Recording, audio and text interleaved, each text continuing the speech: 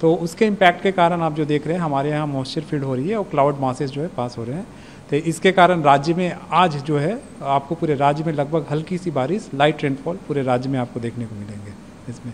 और कल से जो है आपको स्थिति साफ़ हो जाएगी क्लाउडी साफ़ हो जाएँगे।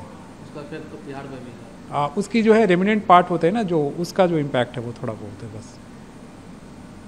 कब तक ये ठंड आने की संभावना देखिए आज जो पूर्वानुमान जारी किया गया है उसमें आ, आज के बाद से जो है कल से ड्राई वेदर हो जाएगा और अगले छः दिनों तक ड्राई वेदर रहने की संभावना है राज्य में। आ, लेकिन इसके बाद जो है तापमान में तीन से पाँच डिग्री सेल्सियस की कमी आपको देखने को मिलेगी राज्य के अधिकांश हिस्सों में। और ये जो है अगले तीन दिनों के दौरान इसमें जो है कमी देखने को मिलेंगी। उसके बाद तापमान वही रहेंगे लगभग।